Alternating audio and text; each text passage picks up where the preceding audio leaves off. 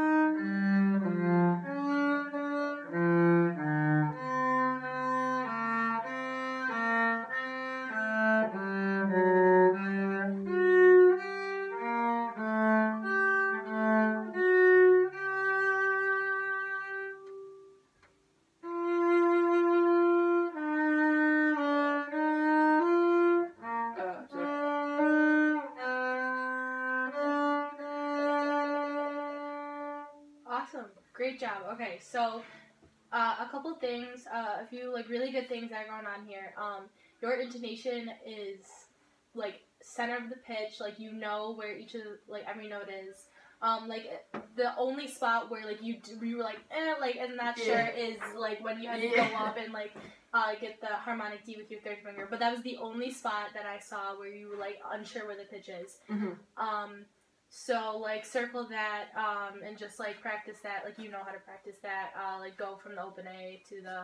Or are you fingering that Aries? That, Uh, y- we have to. We're going. To, I think. oh, okay. Yeah. Yeah. Yeah. So you know how to practice that. Um, but that was like the only spot that you were like, I don't know, like exactly what this is, but yeah. Um, so besides that, um, the only thing I'm like want to work on is like dynamics. Okay. Like dynamics is like a huge part because like the notes are easy, rhythm is easy. Um, but there's like such a huge dynamic contrast, like especially in the first movement. Okay. So I really want to work on that right now. Okay. Um, because like everything's like clearly marked like mezzo forte, uh, piano. Like you're playing like basically like a mezzo piano right now. Um, so like, what are the three things to do for uh, like dynamics? Like, what do you have to do like Um, like on the cello? bow speed. Yep, bow um, speed. Like distance. Um, like where contact point. Yep, contact point. Um, and like like pressure. Yep, pressure. Yep. So what do we do if we want a really loud sound? Uh, closer to the bridge. Mhm. And um, like faster. Yep. Bow speed. And more pressure. Yep. And what do we want if we want a quiet sound? Uh, you're closer to the fingerboard, and Mhm. you uh like less pressure Mhm. and slower. Like wait, no, you still have like you just slow a little bit, but not like super slow. yeah. So you you know all of that. Yeah. So let's with all of that in mind. So you see like mezzo forte. Okay. So what do you need to do when you see mezzo forte? Um, Do you need to be like right on the bridge? No. Okay. Yep. So where do you need to be? Like. like here maybe? Yep. Yep. Like middle. Um. Not not a ton of pressure, but like enough. Mhm. Like I I want you to get like a really like not loud, but like full nice like solid sound out of your instrument. Okay. So let's just do the first line and get a really solid like mezzo forte. Okay. Yo,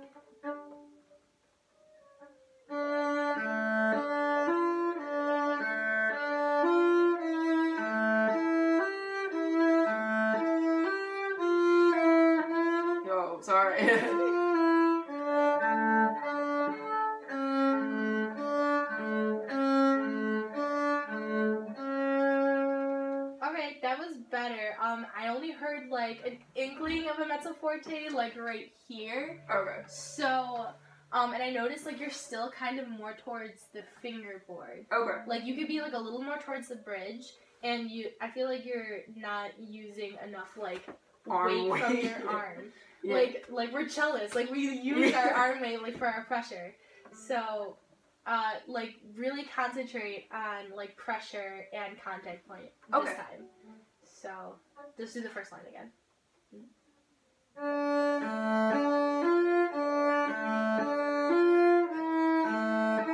Oh, I'm not yeah. sure. Sorry. uh.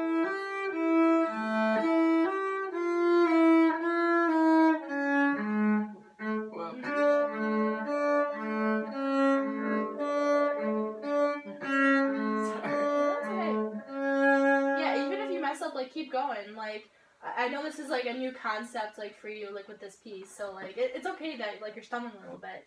Um, so like let's take it a little slower now. Okay. But really, I want you to play like loud. Like just play it like scream it. Like just play Alright. super like extreme. Just play super super loud and let's go. Ba-dum, ba-dum, ba-dum, ba but really loud. It's really loud. Just super, like fill this entire room super Alright. loud. Well, no, no. go ahead.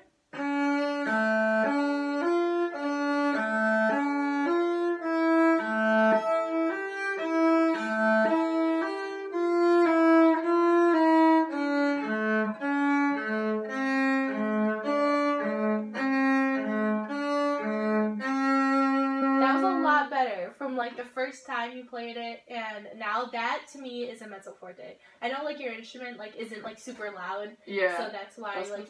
That's like a really big crack in it. So Oh like, no! oh no, it's a tech instrument, so Oh, it doesn't. oh yeah, because yours is getting Yeah, fixed. mine's Oh my fixed, god. so, okay. like, yeah. Oh my it's god. really weird. it Oh, weird okay, noises. okay, that's fine.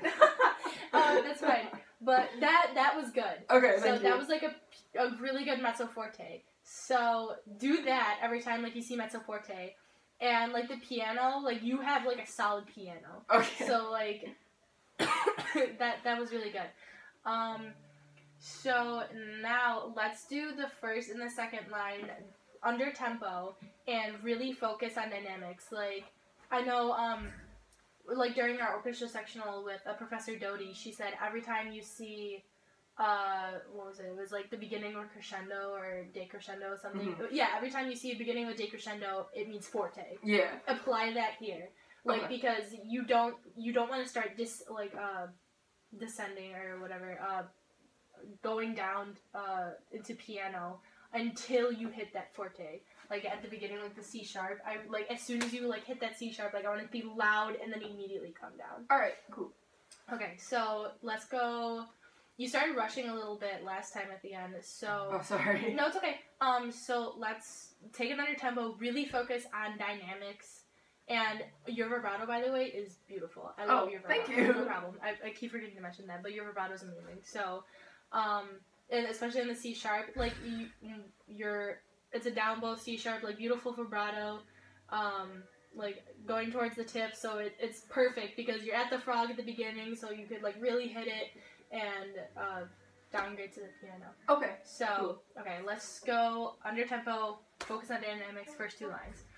Okay, so how about ba-dum, ba-dum, ba-dum, ba-dum, ba-dum, ba-dum.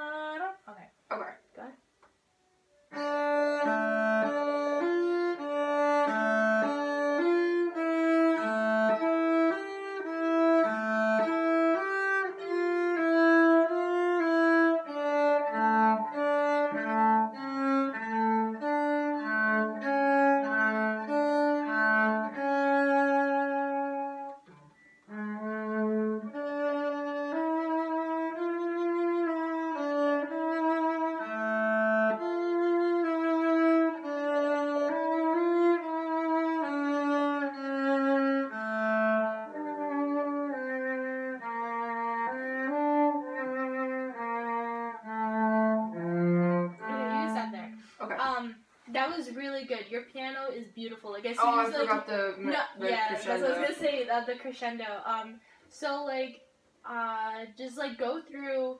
Um, the next thing I would say like for this, uh, like play the whole thing like for yourself because like there's so like only so much like one person can tell you Mhm. before, um, like you have to like realize it yourself. So like play it uh, like a bunch of times, record it, and like go through with a pencil and with your music and listen to the recording and just like circle anything that you see on the paper but you didn't do.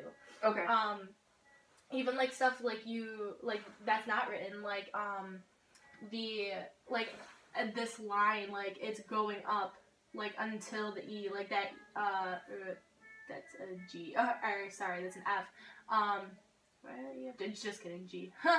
I can read. Um, so it's like going up to that G. So like the G is like the climax of the first line, Yeah. or of like the entire. No, there's like there's an eight later or something. Yeah. Um, yeah. Uh, the G is like the climax of the first line. So like there's an implied crescendo that like you're gonna go to that G. okay. So really like make the G like the climax of that. And oh look, it's like the exact middle of the first line anyway. Yeah. So it's like uh, uh, an arching phrasing that we talk about all the time in cello. hmm Um, so yeah, definitely dynamics would be the biggest thing you should focus on on the first movement. All right. Awesome. Awesome. Okay, so let's do the second movement. Um, just re- yeah, it doesn't it doesn't look that bad. No, I, it's- I've never played this before. It's so- all like just patterns, I think. um, yeah, let's just do the same thing. If you do, you have any question? Like, do you have any questions on like the first or second movement or anything? Um. Uh, not really. Would you phrase each like grouping of sixteenth notes, or would you phrase each like sort of thing like so it just grows gradually, like? Um, like Both, actually. okay, Um, cool. Yeah, for the if you're looking at each individual ind, individual sixteenth group, like um for the first movement, um I would like do a mini crescendo, like how how we did like the choral accents in Capriccio Okay. uh, for orchestra last semester. Um, I would do like that um on each of the high notes at like the end of the sixteen note phrases hmm and then just like continuously like growing to the G. Awesome. So like you don't want to like blast an open A like yeah. for uh, Scarlatti's. So uh, definitely like uh, because it's like you, you have like a constant open A. Like you don't. That's not really important. So Yeah. like it's like D A D F D A D F D. A. So yeah, definitely the A is quieter, but definitely like overall like go to the highest point of the line of the piece. So in this case, it would be the G. Sweet. So Okay. Cool. Thank you. no problem. So second movement. Okay. Let's go. Oh, 嗯。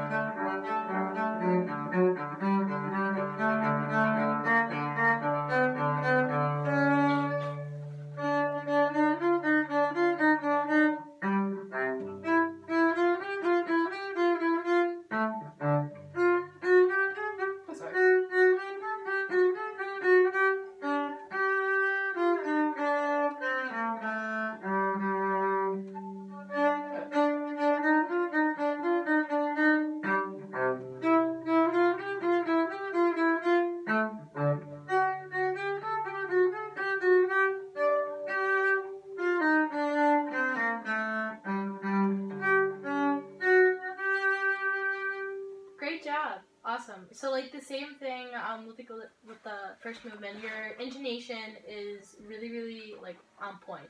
Like you know like the center of the pitch and like you know when you're wrong and like you fix it like to the center of the pitch immediately like as soon as like you notice you're a little sharp or flat.